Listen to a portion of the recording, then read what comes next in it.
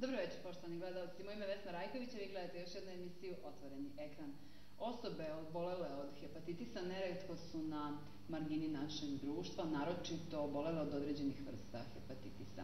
Šta je hepatitis, kako se dobija, kako se prenosi i u krajnjoj liniji kako se leči, govorimo u večerašnjoj emisiji Otvoreni ekran i naša gošća večeras s tim povodom u studiju je profesor dr. Milotka Pavri, načelnica odeljenja za virusne hepatitise Klinike za infektivne bolesti Kliničkog centra Vojvodine. Dobroveče, doktorka, dobrodošli na kanal 9. Dobroveče, zahvaljujem se na pozivu. Ja se svaki put radujem kad me neko pozove da malo skrenem pažnju na virusne hepatitise, e, hepatitise koje ljudi ne prepoznaju, a kasnije ozbiljno oboljevaju.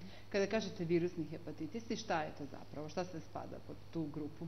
To je jedna ogromna, za mene ogromna grupa bolesti, odnosno kad govorimo o virusnim hepatiticima, ni najčešće mislimo na te virusne hepatitice koje se prenose putem krvi, hepatitis B i hepatitis C na prvo mesto, zbog toga što su to, ta dva virusa, virusi koji imaju tendenciju da perzistiraju, da ostaju u domaćinu, domaćin ne može da ih se oslobodi i prelaze u hronični. Šest meseci ako imate virus u sebi, B ili C, on prelazi u hroničnu bolest jetre sa ogromnim posledicama. Hronična bolest jetre znači 10, 15, 20 godina do ciroze jetre, posle ciroze jetre karcinom jetre ili pak voda u trbuhu, otoci nogu, krvarenje iz proširenih vena, jednjaka, ozbiljne komplikacije koje na godišnjem nivou imaju visoku smrtnost od 80 pa tu nekih do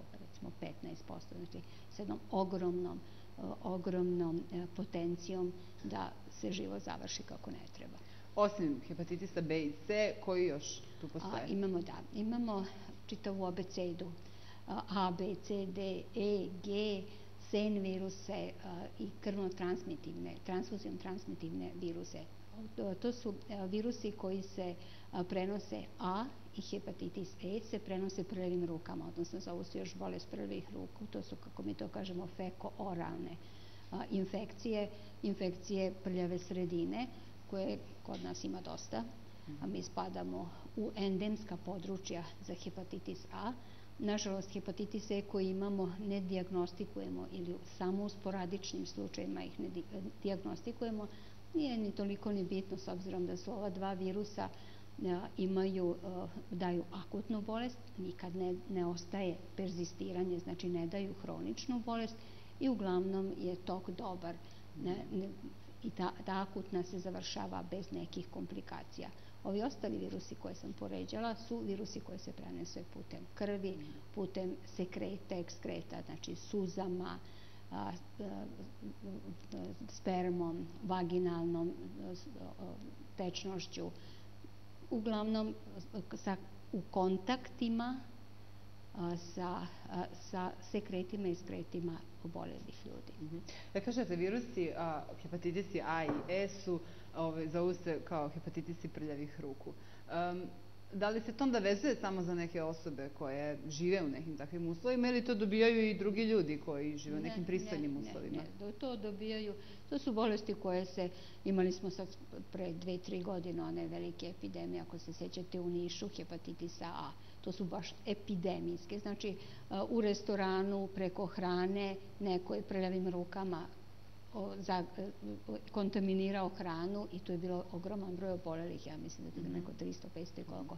To su epidemije ili pak te hidrične epidemije kad se u, u vodu unese, znači negde se zagadi vodovod, ne, to je teško u gradu, ali u tim u tim snabdevanjima vode koje nisu gradski vodovod mhm. hlorisane i već sve šta, šta se radi, tu su te hidrične manje epidemije a prljavim rukama, pa deca u, baš deca peru u zabavištu, ruke ili u školi ili to, to se do, do, najčešće su to u dečijem uzrastu, to baš u tom dečijem uzrastu škola, obdanište škola. Onda mogu oboleti odrasli, ali odrasli onda obole tako što im se dete razbolelo, pa oni od svog deteta dobiju. Mm -hmm. Da li su svi hepatitisi jednako opasni?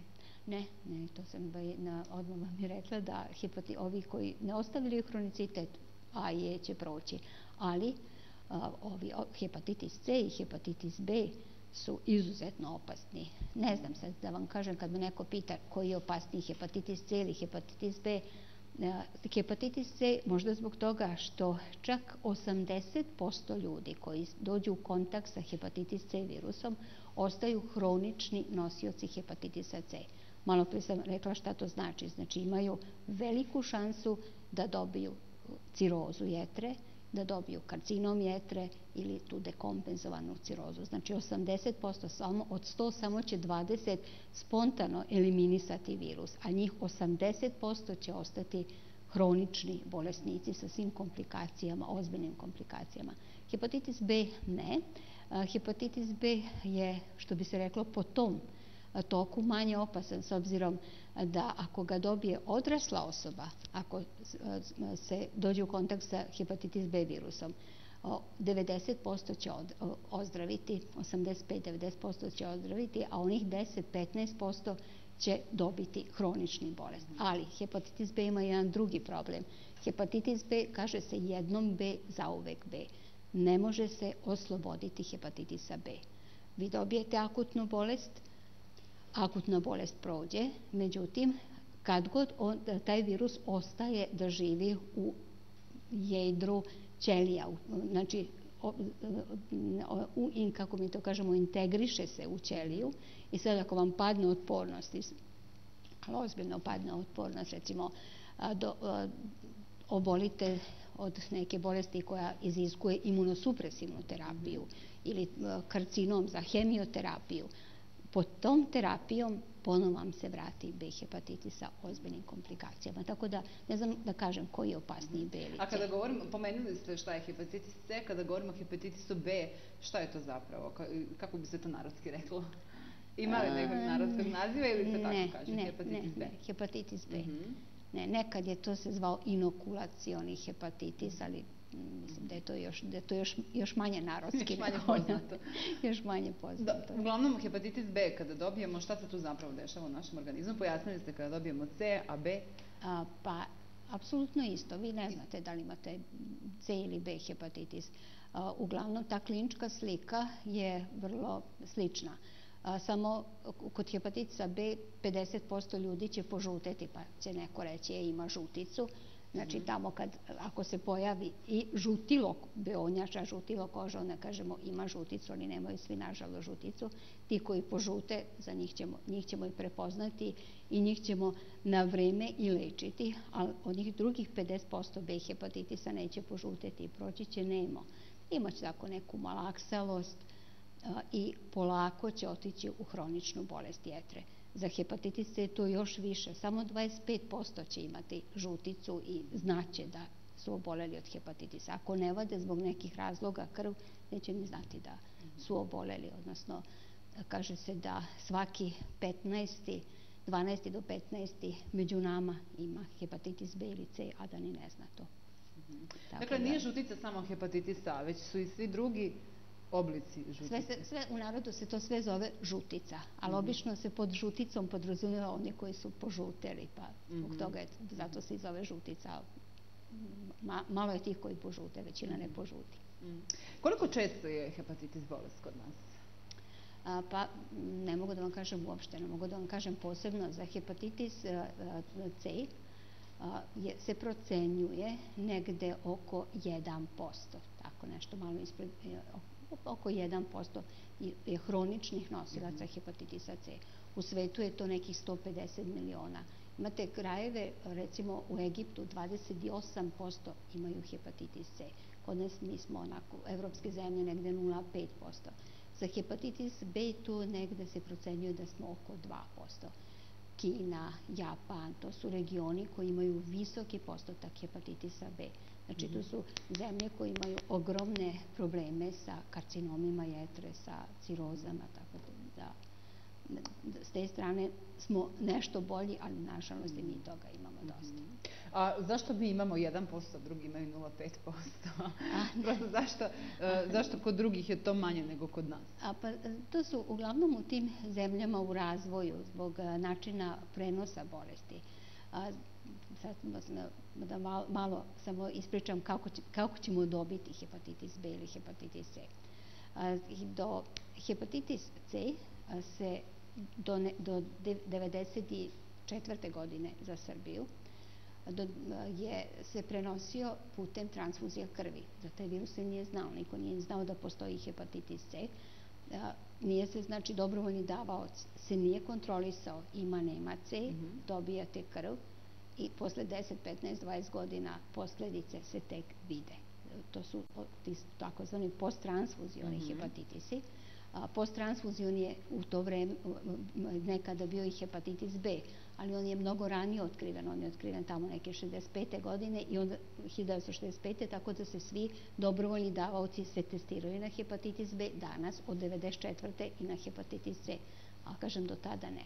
Danas se hepatitis, za hepatitis C kaže da najčešće oboljevaju intravenski narkomani. Nekako kad neko ima hepatitis C, odmah te pogledaju da nisi intravenski narkoman. Nekih kod nas je to oko 40-43%.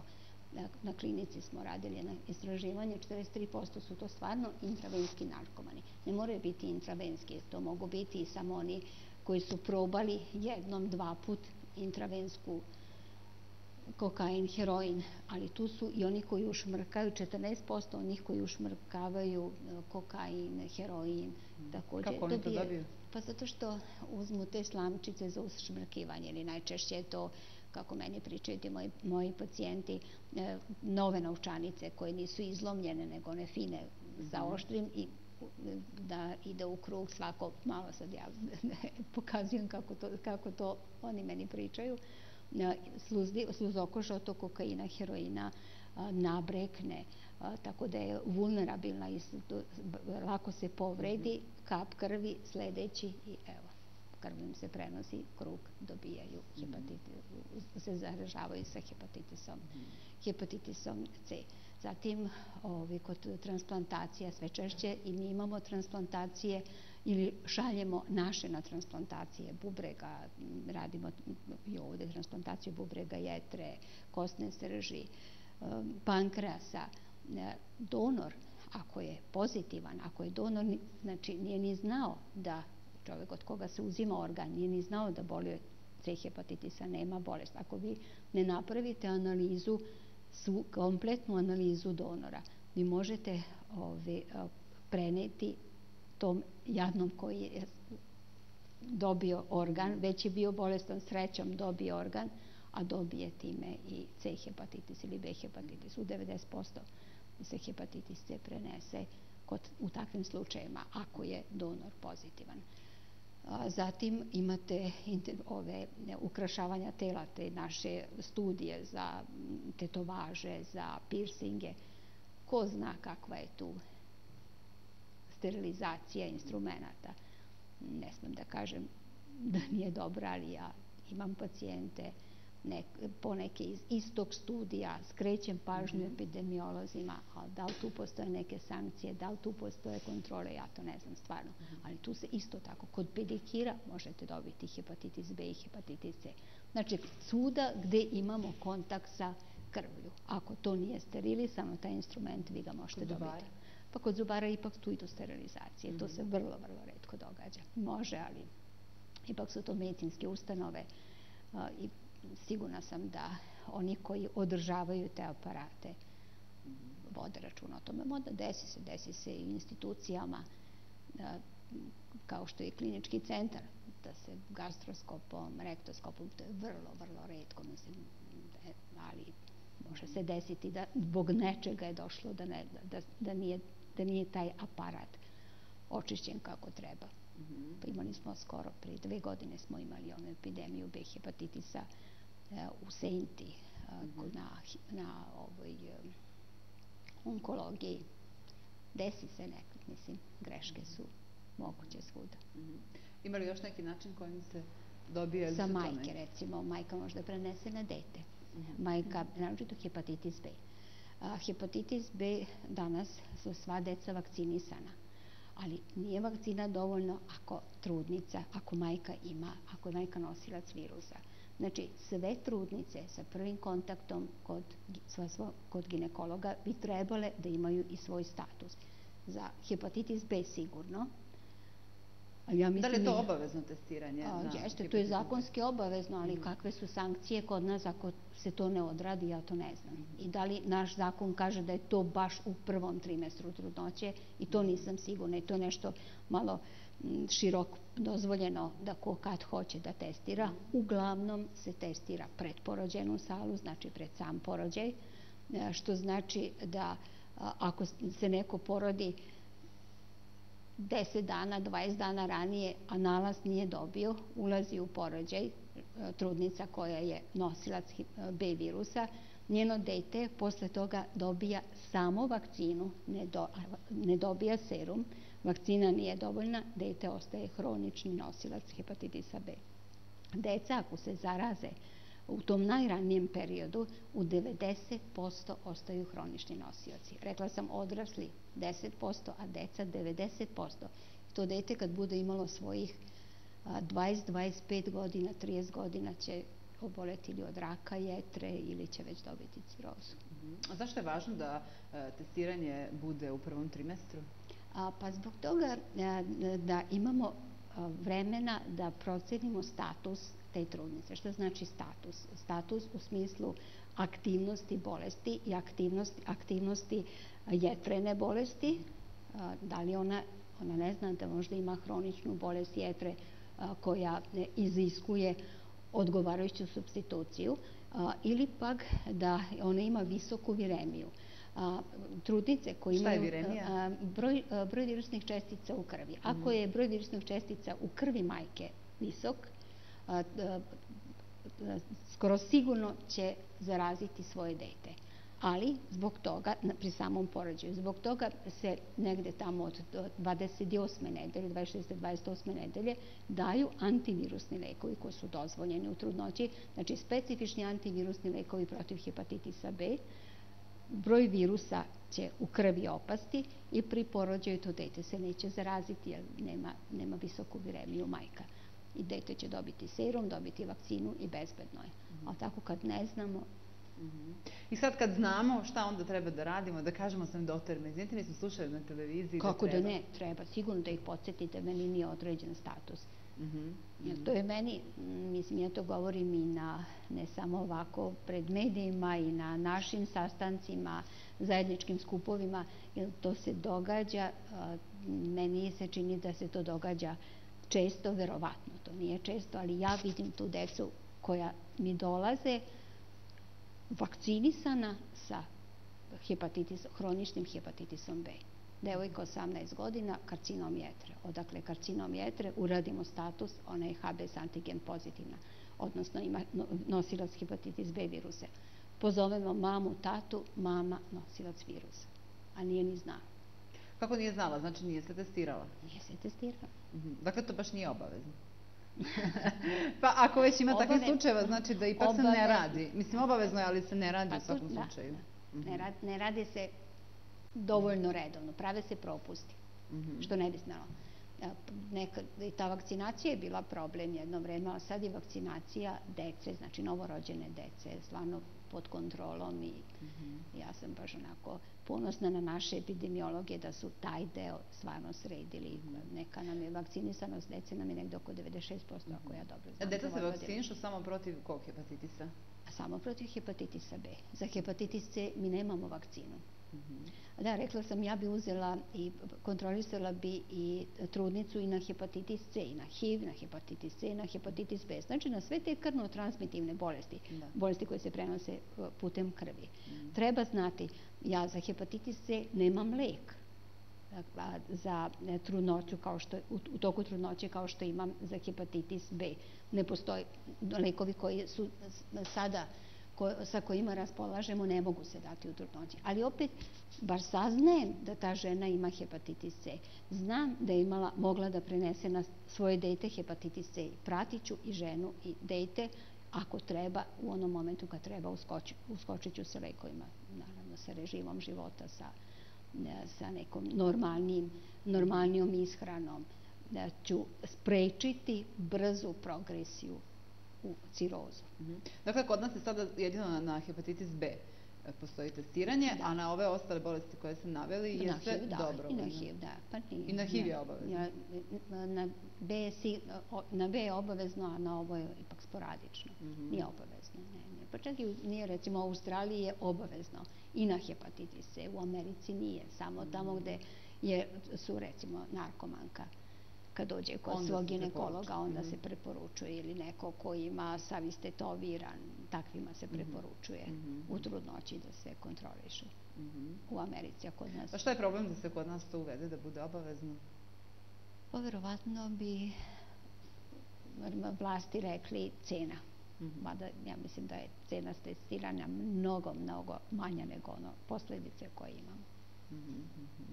Na kraju kraja verovatno bi roditelji možda i sami platili kad bi morali da, da. za zdravlje svog deteta. E, koji su, vi ste pomenuli da ljudi često žive sa tim i da ni ne znaju da imaju uh, hepatitis, uh, govorimo o hepatitisu B i C, uh, i pomenuli ste da jedan od simptoma mogućih jeste žutilo. Ima li još nekih simptoma koji mogu da nas upozore da bi možda trebalo da... Pa, ne, za, žutilo je obično u akutnom hepatitisu i to sam, kad sam govorila, to sam govorila za akutne hepatitise, 50% hepatitisa B i 25% onih koji obole od akutnog hepatitisa će imati malo žute -hmm. oči i malo žute tamniju mokraću, bleđu stolicu. Hronični hepatitis kad podžuti, to je već kraj žutilo, žutica u hroničnom hepatitisu se odnosno javlja se u cirozi, ali to u terminalnoj stadijumu ciroze. Imamo nekih više stadijuma ciroze, mm -hmm. tri, taj koji već dekompen, kad, kod dekompenzacije se javlja žutilo. Kako prepoznati da li imam ili nemam hronični hepatitis? Osnovni simptom u 80% bolesnika je umor ali umor je tako jedan nespecifični simptom. Jasno to da kažem, umor vam je kada ukucate na Google bilo koju bolest, da. umor vam je uvek jedan da, od da, da simptoma, tako, tako da, da je to baš teško, nije. Da. da. Znači, prvih deset, de, pa možda čak i 15 godina vi nosite virus, ali ne znate ga da, da ga nosite. E sad i jedan i drugi virus, a naročito hepatitis C se može manifestovati, kako mi to kažemo, ekstra hepatičnim manifestacijama, odnosno primarni cilj virusa hepatitisa C jeste jetra, ali on se nastanjuje i u drugim tkivima, drugim organima, tako da vi možete imati, ne znam, osip po koži, te purpuru po koži, dakle te kao sitne pete, petehilna sitna krvarenja po koži nogu ili ove, možete imati rane po nogama, rukama, gde obično su to na nogama, znači kožnih manifestacija dosta može imati. Može imati neko da oboli od bubrega, glomerulonefritis, a iza je zapravo C hepatitis štitna žlezda. Praktično svaki organ može da da svoju manifestaciju. Tako da kod onih tamo gde su česte te ekstrahepatične, najčešće, kod naj, tih najčešćih ekstrahepatičnih to već zna reumatolog da će uzeti da vidi da nema možda onice i hepatitis, ako ne može da objasni zašto neko ima upalu zglobova. Mm -hmm. Tako da se otkrivaju, ne otkriva se samo kad se misli na hepatitis, nego i u, diagnostici drugih bolesti. Kad se govori o nekim teškim bolestima, uvijek se kaže važno je na vreme otkriti. Da li u ovom slučaju i vreme igra ulogu? Da, da, da, mm -hmm. da, da izuzetno, jer vi ako znate šta imate pred sobom, onda rizike koji dovode do progresije bolesti ćete otkloniti. Recimo, za hepatitis C alkohol. Alkoholna bolest jetre sama po sebi je već teška. A ako imate to udruženo sa C hepatitisom, to je skoro jednako rak jetre, dobro, nije skoro jednako, malo sam se našela. A, recimo, ako imamo C hepatitisa, ne uzimamo alkohol, 3, skoro 3,6, skoro 4 puta ste, mo, možemo češće dobiti karcinom, rak jetre, nego oni mm -hmm. koji nemaju hepatitis C i oni mogu dobiti, nažalost, ne znaš zašto dobiješ rak jetre. Ali ovo je skoro 4 puta češće. A ako na taj C hepatitis dodamo još alkohol, to je onda 10 puta češće. Tako da mhm. e, otklanjaju se, otklanjaju se takvi rizični faktori koji vode u progresu. Ono što je najvažnije, treba lečiti. Treba lečiti da bi sprečili i što ranije počnemo da lečimo, imamo veće šanse za izlečenje kod hepatitisa C, govori. A kod B? A, kod B je malo drugačije. Kod B je malo drugačije, malo komplikovanije. Za B hepatitis postoje lekovi, ali za B hepatitis naglasila sam da se on ne može izlečiti, još uvek se ne može izlečiti, definitivno. Ovi, ako imamo već hronični hepatitis B, znači nosioci smo virusa, a, ne, lečenje nije uniformno, nego samo kad imamo aktivnu bolest, onda se leči hepatitis B, samo pri aktivnoj bolesti. Što znači aktivna bolest? da, da, tema malo kako ću to da, da. to da, da, da vam kažem malo, da pokušam da objasnim. A, hepatitis B je specifična bolest zato što a, je to, kako mi kažemo, a, organizam se bori protiv. Manifestno je onda kada se naš antitela, naš organizam bori protiv te bolesti. Kad virusi su obično na samoj jetrenoj ćeliji, onda naš imunitet, naš neki ćelijski i taj humoralni ćelijski imunitet prepoznaje, znači tu jetrenu ćeliju kao stranu je nešto je na njoj više ne poznaje kao svoju. Sad vrlo laički to pričam, da bi nas gledalci razumeli, da, da bi, i, da, da, tako se oslobađa virusa što razori ćeliju. I zapravo razarajući ćeliju pravi znake upale, znake manifestne bolesti.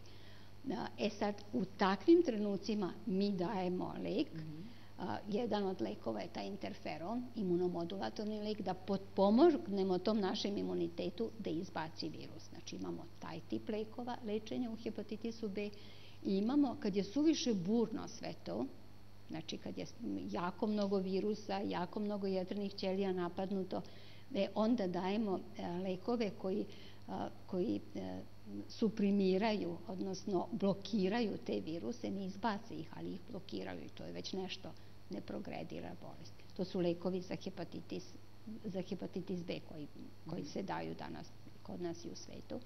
A za hepatitis C to je malo drugačije. Što ga ranije otkriješ, to je bolje dati lek jer imaš veću šansu da se oslobodiš virusa. Hepatitis C je izle, danas izlečiva bolest. Do nedavno se, smo govorili da je hepatitis C neizlečiv, ne, hepatitis C izlečiv. To je uh, bolest koja, ja koliko je to unazad, od 94. znamo za, za nju. Mm -hmm. Unazad 20 godina je ovde lečimo interferonom, a poslednjih jedno 4-5 godine to je svakih 2-3 meseca novi lek i sve moćniji lekovi za uh, hepatitis C kojima se hepatitis leči od 96 do 100%. Mm -hmm. Dakle, visoki procenat izlečenja. Izlečenja, kod, da. Mm -hmm. Samo treba imati te lekove. E, to je sad ono što, bih, što, što je nama problem. E, pričat ćemo i o tome, ali evo kad smo još kod tog e, da, da, kako da saznamo da li imamo ili nemamo, kako izgleda to diagnostikovanje? A, kak, a, pa obično to se otkriva kod lekara opšte prakse. Lekar opšte prakse ili mu se požali njegov pacijent da je umoran, da ima neki osip po koži, ne znam, u, uglavnom uzima se krv U krvi se, uzimaju se te jetrene probe, kako ih mi još nazivamo, ove, i one ako su e, patološke, znači one ako su poremećene, e, onda je to signal doktoru da traži antitela na hepatitis C. Mm. A, vadi, znači šalje pacijenta, to uglavnom se radi u higijenskom kod nas u Novom Sadu, ali radi se i na drugim mestima ta antitela na hepatitis C otkriju se antitela na hepatitis C Kako i onda izvadi se krv? Znači, izvadi se Aha. krv, to su te serološke mm -hmm. iz seruma se dokazuju antitela da, na, protiv hepatitisa C. E sad, ako neko ima antitela, kaže se antitela za hepatitis B, malo pre sam rekla kako je to baš dobro da blokira virus i ne, mm. ne ovde to, niš, to ne znači to kod hepatitisa C. Ako imam antitela, to nisu ta ista antitela koja sam imala za uške, pa su mi ostala. To su antitela koja s jedne strane jesu, možda je, su to ta zaštitna antitela posle prebolele bolesti, ali možda su to i antitela vezana za virusnu aktivnost. Mhm. Malo sam sad skomplikovala. Hoću da kažem da antitela, kod antihepatitis C antitela, koja se otkrivaju, ne znače da si zdrav, ali ne znače ni bolest. Kad se otkriju ona, e onda ide tek dalje diagnostika hepatitisa C. Onda se pacijent upućuje znači, u tercijalnu ustanovu i u tercijalnim ustanovama se rade te e, PCR metode za detekciju RNA samog virusa u serumu. Kako se to radi? Je li to nešto bolno, strašno? Ne, ne, pa to su vam ti one PCR, to isto iz krvi. Samo se izvadi krvi i u krvi se o, po, sa o tom PCR tehnikama, tim polimeraza, ne znam da kažem srpski, samo engleski polimeraza, chain reakcijama, odnosno pa dokazivanje RNA virusa, DNA RNA virusa. E sad, ti testovi su nama problem. Nemamo ih, nemamo ih redovno, dosta su skupi, šaljemo pa nekad pacijente u privatnu, u privatnoj laboratoriji to košta, znači dokazivanje da li imaš ili nemaš C hepatitis od nekih 9000 do 17000, pa nema to baš svako da sebi priušti. Da, trenutno mi u kliničkom centru Vojvodine imamo jedan kontinuirano stvarno snabdevanje tim testovima za detekciju unazad jedno, dve, tri godine, ali sem nas nema niko, nema ih, nema ni Beograd, nema ni Niš, samo ih povremeno ima i to povremeno ima samo zahvaljujući donaciji farmaceutskih kuća. To su nam ogromni problemi. E, nas koji diagnostikujemo i koji ličimo pacijente. Ako, kad lečiš pacijenta sa hepatitisom C, ti ne možeš mu dati lek i završiti. Lečenje je dugotrajno. Mm -hmm. Da sam malo prešla na lečenje, ali zbog testova, da bi samo značaj podvukla šta znače ti testovi. Ove, lečenje traje od 24 do 48 nedelja, znači od pola godine do godinu dana. Jednom nedeljno dobije pacijent injekcije, to je injekciju pegilovanog interferona i dobije još plus tablete to govorite o hepatitisu C. Hepatitisu C, da. Za hepatitisom B sam rekla otprilike kako izgleda lečenje.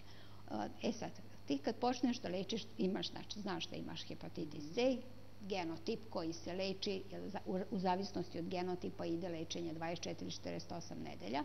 Ako je to genotip 1, ja ga lečim 48 nedelja. Ali ne odgovaraju, nije uniformno, ne odgovaraju svi jednako. U 12. nedelji, po svim protokolima, trebaju četvrte, ali ono, ono minimum minimuma je 12. nedelja, ja moram prekontrolisati koliko sam tih virusa uspela da smanjim u serumu bolesnika tačno je propisano. Ako je to ispod dva logaritma, prekidaj terapiju jer ćeš naneti više zla nego koristi. Ako je to, eh, ako je, nema više virusa u krvi, nastavi 48 nedelja. Nama se događa da mi u 12. nedelji nemamo s čim da kontrolišemo, lečimo ga, dajemo preskup lek, pravimo možda ozbiljne komplikacije. Kako mislite nemate čime da kontrolišete? Nemamo taj test. To, mhm. to sam kad rekla, Aha. htela da potenciram, mm -hmm. nestašicu testova, odnosno neredovno, nekontinuirano snabdevanje ovih e, referentnih ustanova koje se bave lečenjem mm -hmm. C hepatitisa sa testovima. Mm -hmm. I onda tu dolazi do... I onda tu dolazi do ogromnih troškova na račun fonda se daje taj pegilovan interferon košta negde nekih 10.000 evra po pacijentu, mm -hmm. terapija od tako nekih pa možda i više malo, 10.000 evra je lečenje. Ja nastavljam terapiju zato što nemam onih, ne znam, 50 evra ili 60 evra da uradim kvantitativni test da proverim da li, da li je ovaj, treba lek ili ne. Što ja trošim pare od fonda, ali što ja nanosim tom pacijentu i ozbiljne nus efekte pravi taj lek. Evo, ostalo još 15 minuta do kraja večerašnjeg druženja, pa ćemo pozvati naše gledalce 522733 je linija koja je otvorena za vas. Večeras govorimo o uh, lečenju uh, hepatitisa, prvenstveno hepatitisa B i C, pa ako me se možda nešto da kažete ili pitate, evo doktorka će rada odgovoriti na pitanja. Uh, I uh, kada govorimo o, uh, sad ste govorili o lečenju, o lekovima, da li, i rekli ste da su neki lekovi izuzetno skupi, da idu na, na teret fonda, Šta je, šta je sa ostalim lekovima koji se koriste? Da li, da li sve to potpada pod zdravstveno naše osiguranje ili ipak moramo nešto da... E, pa potpada pod zdravstveno osiguranje, ali za hepatitis C sad moram i to da kažem, za hepatitis C malo pre sam pričala o lekovima koji leče 96-100%. Uh, međutim, ja govorim trenutno o pegilovanom interferonu o kome sam pričala, ribavirinu, on za taj genotip 1 u 50% ima uspeha. Znači 50% će se izlečiti, 50% će ostati nosioci virusa i dalje će im bolest progredirati. Za njih treba drugi lek. Treba jedan od tih novih lekova o kojima sam pričala. Sada je izišla treća generacija, kako mi to kažemo, treća generacija antivirusnih lekova za hepatitis C, Mi u Srbiji imamo tek prvu generaciju, do druge još nikako nismo došli i nama je problem. Mi lečimo prvi put pacijenta, ali onaj koji nije odgovorio na terapiju, mi nemamo šta s njim. Mm -hmm. interferon ne možete dati nekom ko već ima cirozu. To je imunomodulatorni lek, on ima male rezerve da bi vi njemu dali, možete mu razbuktati bolest sa takvim lekom. Mi te bolesnike ne lečimo. Oni čekaju neka srećnija vremena, ne znam kada će nastati, a, a već imaju cirozu, znači ne, ne mogu da čekaju. Mhm. Nažalost, tu imamo ogromnih problema. Mhm. Kad se uporedimo sa drugima, drugim zemljama, pa evo možemo i u regionu, je li tako neka slična situacija ili smo mi Bolje da me niste pitali, malo smo potonuli. Aha. Bili smo jako dobri što se tiče lečenja C hepatitisa dok je bio samo pegilovan interferon sa ribavirinom. Otkad imate novih lekova druge i treće generacije, mi nismo. Mi smo ovaj, možda i najgori. Odnosno među najgorima. Hrvati imaju, Slovenci, Hrvati imaju doduše drugu generaciju potpuno i sad već ponešto i od treće generacije lekova Slovenci imaju sve. Mađari, Mađari leče nisu mnogo, bar se meni čini, nema, ne znam sa koliko ima mađarsko stanovnika brzo, ali znam da oni go, na godišnjem nivou otkrivaju 3000 pacijenata, a leče 2000. Mi na godišnjem nivou otkrivamo tako negde oko 500, a lečimo između 250, 240 prvom generacijom, a ne trećom generacijom. Mm -hmm. Mi smo dobri što se leči ti, lečenja hepatitisa C, tu nam jako mnogo zaostajemo trenutno. Mhm. Verovatno sve u sklopu svih tih finansijskih situacija, mada sam ja to jednom izgovorila pred ljudima koji se bave lečenjem hepatitisa C i u Nemačkoj pa su rekli nemamo ni mi pare, to su i za njih skupi lekovi, ali ih pametno raspodelimo. Mm -hmm. Sad ako me sluša neko ko treba da raspodeli, verovatno ima tu malo, malo para treba za sve bolesti dati i podeliti, ali nekako treba mm -hmm. rešiti te naše pacijente. Mm -hmm. Ostaje nam samo transplantacija jetre. Posle kod dekompenzacije karcinoma vi nemate šta drugo, od poslednje transplantacija jetre. Transplantacija jetre u Vojvodini, u kliničkom centru Vojvodine se radi. Urađeno je 31 transplantacija ali to nije dovoljno. A još ono što moram da kažem, vi kad e, imate C hepatitis, transplantacija, novi organ, ali će se novi organ zaraziti ako mu ne date lek. Mm -hmm. A lek ide iz te nove generacije. Tako da su to ovako ozbiljni problemi u lečenju. I komplikacije. I komplikacije. A, osim e, kada osoba oboli, kada se diagnostikuje i kada im vi dajete već lekove koje možete i koje imate, da li ima još nešto što te osobe u svom životu treba da promene? Opa, kako da ne. A, rekla sam opet, da se ne vraćam na alkohol, na gojaznost. Ne možete vi piti uh, debeli i da imate C ili B hepatitis, znači to C hepatitis, imate tu steatozu, masnu jetru. Masna jetra takođe vodi u karcinom jetre.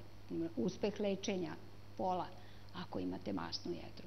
Znači, na drugom mestu onda upotreba tih silnih lekova. Svi ti lekovi koji se uzimaju, ne znam, sedativi, šta sve, ovi, za reumu, mi smo skloni kao nacija da koristimo lekove i šakom i kapom, nekontrolisano. Sve to prolazi kroz jetru, sve to toksično za jetru, sve to mm. plus oštećuje jetru. Tako da e, sam režim života, ne možeš ti se sad baviti ne znam kakvim fizičkim aktivnostima ako imaš bolesnu jetru. A kako inače izgleda život tih osoba? Da li one mogu e, normalno da nastave, da rade, da u školu, da se druže. Da... Kako da ne? To, to, to, to apsolutno, to god nema dekompenzovanu bolest jetre treba normalno da živi, normalno, apsolutno, oni su potpuno kao i svi mi koji nemamo C ili B hepatitis. Ali, nažalost, kad sazna neko u okolini da imaš C hepatitis, a to je narkoman, zarazit ću se od njega. To ne preskače. Mislim, tu treba direktan kontakt sa krvlju da bi, da, da bi, da, bi, da, da bi se bolest prenela. Čak i u našim zdravstvenim ustanovama, meni dođu moji pacijenti sa C hepatitisom i kaže nije hteo stomatolog da me primi. Pitao me da li imam C ili B hepatitis, ja sam mu rekao imam C hepatitis, nije hteo da me primi. Mm -hmm. To se događa, mislim, zna se, stomatolog zna kako se prenosi C hepatitis i kako treba da štiti i sebe i kako sledećeg pacijenta od, C hepatitisa. On jednostavno rešava tako što ga ne primi. A šta je za one koji ne znaju, a sednu mu u stolicu? Mm -hmm. Tako da je to ne baš onako mm -hmm. još gore. Mislim da, da su ti a, malo, što ste vi na početku emisije rekli, malo na margini pacijenti oboleli od C i B hepatitisa, posebno od C hepatitisa. Mm -hmm. Ali to možda sve zbog neznanja? Sigurno da je zato. Sigurno sam da je zbog neznanja. Ne znam, mm -hmm. mislim, taj strah je apsolutno zbog neznanja. Mm -hmm. e, ipak kada osoba sazna da je obolela, to nije lako. I taj negde psihološki moment je jako važan.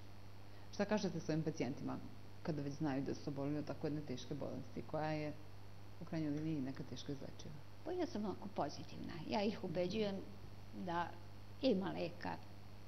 On, po, uvek ono što imamo probamo. Mm. A s druge strane, rekla sam, nemamo tih novih lekova. Uvek tu bude neka donacija od farmaceutskih kuća, od kompanija koji proizvode te nove lekove. Za te najteže namolimo, kukamo, pišemo i onda oni, ne da oni sigurno nama zato što im se daje, nego mi, da bi a, i nas doktore upoznali sa svojim novim lekom, pa onda dobijemo za pet pacijent, bolesnika, za dva bolesnika, da na taj način dođemo do lečenja sa tim novim lekovima. A, onda imamo tih kliničkih studija, mi smo još uvijek interesantni područje, pošto nemamo novi, tih novih lekova i nisu nismo napravili toliko rezistencije na lekove, -hmm. Govorimo o antivirusnim lekovima za B i hepatitis, tako da onda dobijemo lek za ispitivanje. To su lekovi koji su već ispitani, imaju svoje faze kliničkih ispitivanja i onda prihvatimo to zato što možemo da damo pacijentima. Recimo za hepatitis B, to smo jako dobro prošli, imali smo e, do 12. do 2012. Mi smo u Srbiji imali samo jedan znači lek koji se uzima peroralna tableta, e, lamivudin i taj interferon, interferon smo imali stalno. Lamivudin je odličan lek e, za B hepatitis, ali on pravi rezistenciju. I mi smo imali ogromne probleme sa pacijentima koji više ne može da dobije lamivudin, znači rezistentan je, bolest... Znači više ne reaguje na Ne reaguje, ne mhm. reaguje, ja mu moram dati, u svetu su se pojavili već bili novi lekovi, dati neki drugi lek, nije kako da se registruje u Srbiji, nije kako da fond ih stavi na mhm. pozitivnu listu i onda je naišla jedna studija ne, sa lekom, zove se tenofovir, tu ako s šakom i kapom smo zgrabili tu studiju, nam infektolozi mm. Beograd, Novi Sad, Niš, i mi smo pet godina držali, to je bila neka studija dugog praćenja, kako deluje taj novi lek u tom nekom dužem periodu. Mi smo sačekali lepo registraciju za sve te naše pacijente, sačuvali i spasli registraciju tog leka, kažem 2012. krajem 2012. je registrovan i sad su nam ti inače bi oni umrli, dobili bi ciroze i umrli, da nije bilo takve studije. I uvek se pojavi nešto koje hoću kažem da sam za te moje pacijente pozitivna i uvek nađe se neki izlaz. Dobro, ima kad se i ne nađe, ali Mislim da je ta transplantacija nije baš kontinuirana u kliničkom centru Vojvodina, uopšte u Srbiji. Krene, krene pa stane. Mm. Ali opet, evo sad je baš poslednja transplantacija koja je uređena, to je mlad čovek sa C hepatitisom. Krenuli smo da ga lečimo, nije odreagovao, posle 12. nedelje ništa nije odreagovao. Stali smo, za tri meseci je diagnostikovan karcinom, ako mrtva kapa, šta ćemo s njim? Pojavio se donor, evo dobio je organ, sad ako dobije reinfekciju grafta, valjda ćemo negde nešto namoliti da dobije lek i mm -hmm. ima neke nade. Mm -hmm. Koliko, vi ste uh, načelnica deljenja za virusne hepatitise u kliničkom centru, koliko ima tamo, koliko pacijenata leži tamo, koliko tu primite ljudi? A koliko je, pa negde oko 40, oko 40 mhm. kreveta ima za, mm -hmm.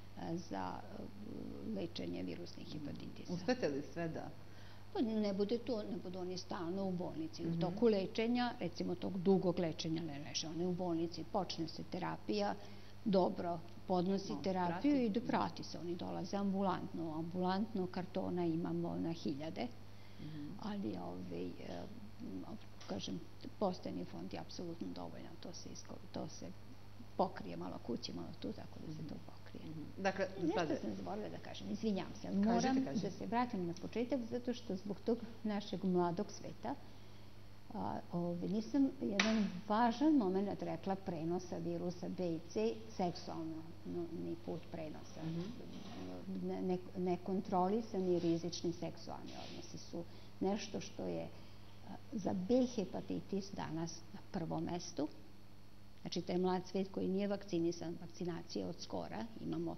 taman taj seksualno aktivne nevakcinisane, pa da sam htela da iskoristim, da kažem, to je na prvom mestu put prenosa danas B hepatitisa kod nas je seksualni put, ne, bez zaštite. Mm -hmm. Hepatitis C manje, može i hepatitis C, ali hepatitis B... Od kad je počela obavezna vakcinacija za hepatitis B? A pa, Otprilike možda ne, ne, ne, znam da vam kažem, negde oko 2006.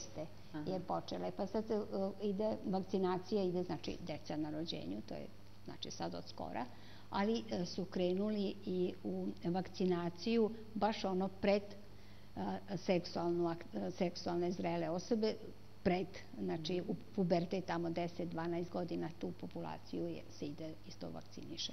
Zdravstveni radnici se davno vakcinišu, studenti medicine, stomatologije, uh, učenici medicinske škola, oni se davno vakcinišu. Ali kažem, sad nam je ova baš ta, niti od 18-20 godina, 30 mhm. godina nam apsolutno nisu vakcinisani, a to je put prenosa hepatitisa B. Mhm. Stigli smo samo kraj večerašnjeg druženja i samo za kraj da kažemo, kada se neko izleči, da li postoji mogućnost da se bolest vrati? Za hepatitis C ne. -hmm. Za hepatitis C ne. Hepatitis C je izlečiva bolest, ali nemamo jedan C hepatitis. Sad ću da zakomplikujem. Imamo tipove hepatitisa C. Imamo šest tipa hepatitisa C, 1, 2, 3, 6, 5, 6, tako se i zovu. Mm -hmm. Ove, a, najčešće kod nas su 1 a, i 3. Međutim, ređe 2 i 4, 5 i 6 nisam videla kod nas nikad.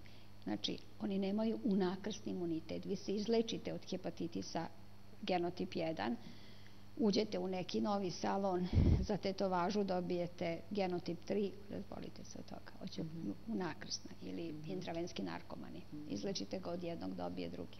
Mm -hmm. E, I e, na kraju pričali smo malo par reči o prevenciji. E, ima li još možda neki savjet za prevenciju hepatitisa, osim toga da se ne ide kod neproverenih ljudi za tetovažu, manikir, pedikir i, i ne upuštati se u nezaštićene seksualne odnose, šta ima li još neke možda savjet? Da. da. Ove, pa, ne, moj savjet za kraj bi bilo da svi pomislimo da nema možda i ja hepatitis.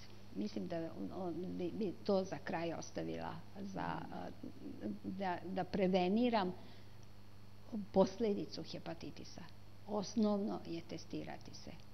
Misliti da li sam ja negda možda u nekoj rizičnoj grupi da od e, ranijih medicinskih intervencija, transfuzija, da li ne, ne, nekih 40% ljudi ni ne zna na koji način dobije C hepatitis. Tako da ako imaš neku e, razlog da vadiš krv, pa treba proveriti i da, ne, da nemam ja možda virus. Mm -hmm. Nikad se ne zna. Nikad se ne zna, zato kažem, svaki negde od 12 do 15 ima, je zaražen virusom, a ne znam. Mm -hmm. Hvala vam puno, doktorka, što ste bili večerac naša gošća e, i naravno dođite nam ponovo na kanal 9 i želim vam puno uspeha u vašem radu na klinici.